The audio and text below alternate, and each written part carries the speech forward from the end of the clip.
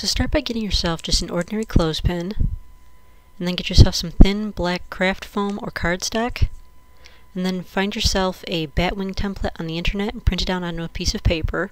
I'm using white paper here so you can see me drawing it against the black foam. Lay it on your foam, and then you just want to trace around it onto the foam. If you use a pen, it shows up easier. You want to trace out two of those.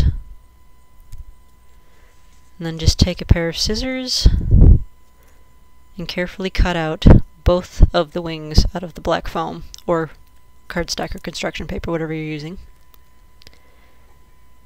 And then you're going to end up gluing the wings onto the side of the clothespin.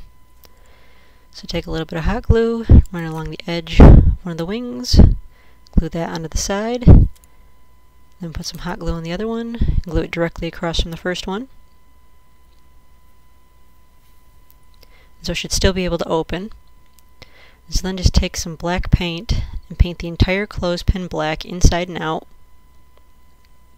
You want to make sure that you keep wiggling it a little bit as you're painting the inside so it doesn't freeze up when the paint dries. Then just leave that to dry. Then take a little bit of white paint and paint on two white spots for eyes.